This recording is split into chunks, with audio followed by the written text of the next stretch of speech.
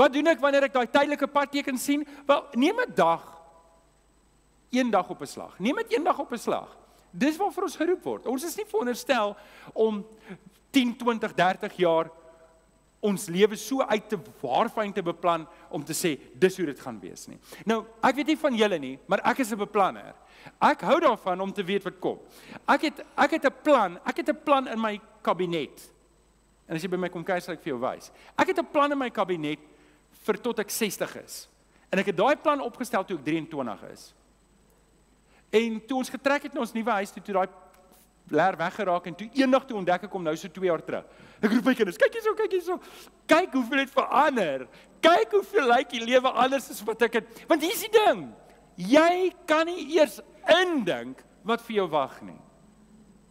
Ek en jy moet leer om die Here te vertrou eendag op 'n slag. Matteus 6:34 sê Jesus uitdruklik. Hy sê uitdruklik: Moet julle dus nie oor môre bekommer nie, want môre bring sy eie bekommernis. Elke dag bring genoeg. So. Nike teenoorgestelde. Just don't do it. OK. Ek moet tog net hier bly op die verhoog. Ek raak te opgewonde. Ek geniet hierdie.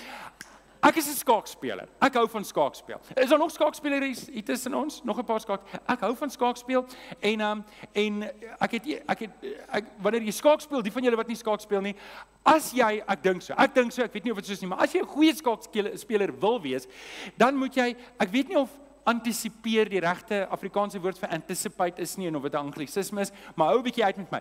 Jy moet jou opponent se skuwe antisipeer. Jy moet met ander woorde 'n verwagting in jou kop hê. Wat's die 5 hoogs waarskynlikste skuwe wat my opponent gaan maak en dan moet jy 5 opsies uitwerk op al daai scenario's en probeer 3 of 4 skuwe vooruitwerk. Peer het ek dit min of meer reg. OK, min of meer. En en en so dis dis dis skaak. Nou Ek het gehoor daar's 'n party plekke wat hulle human chess speel.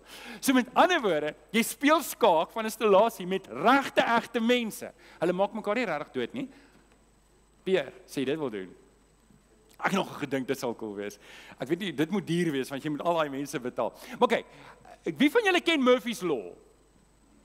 Murphy's law se eerste wet sê anything that can go wrong will go wrong.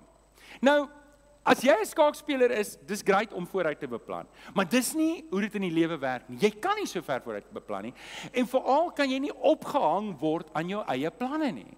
Dan gaan jy die hele tyd ontstel wees en jy gaan die hele tyd teleurgestel wees en jy gaan die hele tyd wankelrig wees. Ek en jy moet op 'n plek kom wat ons die Here vertrou.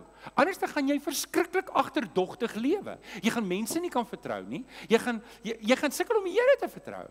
Die Here wil nie hê ek en jy moet so lewe. Nee, hy hy daag ons juis uit dat ek en jy van dag tot dag moet lewe.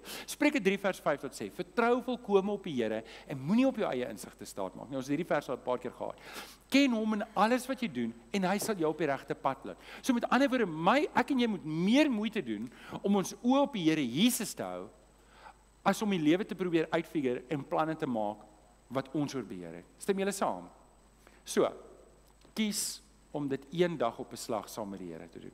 Beteken dit ons moenie vooruit beplan nie? Asseblief sien jou finansiële adviseur en beplan vooruit. Ek wil nie jy moet op jou aftreedag na my toe kom en sê jy het gesê ek moet dag tot dag lewe en ek het al my geld in daai stakes ingesit en nou het ek nie geld vir my ou dag nie. Natuurlik moet jy dit doen, maar ek praat van om jou hart te beskerm. Dat jy nie jou hart gee vir môre en en jy het niks vir vandag nie.